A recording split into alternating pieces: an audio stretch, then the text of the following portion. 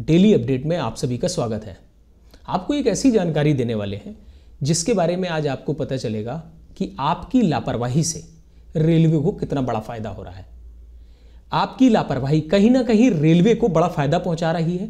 इसमें एक, जब आप रिजर्वेशन करते हैं थर्ड एसी का या फिर स्लीपर का, और आप इनसे, इंतज़ार में रहते हैं जब आपकी वेटिंग टिकट होती है कि कभी ना कभी यह कंफर्म हो जाएगी, और वह आप कंफर्म के इंतज़ार में बने रहते हैं और जब आप कंफर्म टिकट को कैंसिल नहीं कराते, या फिर कंफर्म होने के बाद आप यात्रा नहीं करते, या फिर उसके बाद जब कैंसिल भी कराते हैं तो भी रेलवे को एक मोटी रकम का फ़ायदा मिलता है।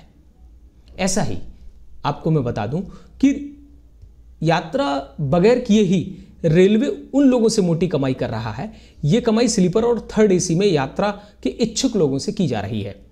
ये वो लोग हैं जो वेटिंग लिस्ट में चल रहे टिकट बुक कराने के बाद कंफर्म होने की उम्मीद में आखिरी मिनट तक उसे कैंसिल नहीं कराते और चूक जाते हैं। इतना ही नहीं, रेलवे के लिए वे यात्री और ज़्यादा फ़ायदेमंद हैं, जिन्हें किसी न किसी कारणवश अपने कंफर्म टिकट को कैंसिल कराना पड़ जाता है। दोनों स्थितियों में रेलवे की पौबारा है और लाखों करोड़ का, हज़ारों करोड़ का फ़ायदा ये उठाता है। अब देखना है कि एक बार टिकट बुक हो गई इसके बाद यात्री यात्रा करे या ना करे, रेलवे को कोई नुकसान नहीं होता। बल्कि फ़ायदे की संभावना और अधिक हो जाती है। टिकट लेने के बाद यात्री यात्रा करे तो रेलवे को थोड़ी कमाई होगी। लेकिन यदि यात्री कंफर्म टिकट को कैंसिल करा दें अथवा उसे वेट लिस्टेड टिकट को कैंसिल कराने का मौका ही ना मिले तो रेलवे को और अधिक फ़ायदा होगा। यानी आम के आम गुठलियों के दाम। जबकि यात्री को चूना ही चुना। एक आरटीआई के कार्यकर्ता के सवाल के जवाब में रेलवे के centre of railway information system ने बताया कि 1 जनवरी 2017 से 31 जनवरी 2020 के तीन वर्षों की अवधि में रेलवे ने टिकट कैंसिल न कराने वाले यात्रियों से साढ़े नौ करोड़ से अधिक यात्रियों से 4,335 करोड़ से ज़्यादा की रकम जुटाई है।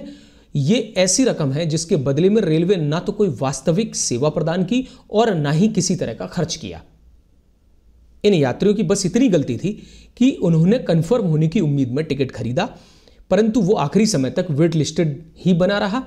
इन्हें या तो टिकट कैंसिल कराने का समय नहीं मिला अथवा कैंसिल कराने की हिम्मत ही नहीं हुई। दरअसल पिछले 10-12 सालों में रेलवे ने कैंसिलेशन नियमों को इतना सख्त और महँगा बना दिया है कि टिकट कंफर्म होने पर अधिकांश लोग उसे कैंसिल कराने के बजाय दूसरी तिथि या ट्रेन में बुकिंग करना अथवा बस या विमान का विकल्प चुनना अधिक पसंद करते हैं।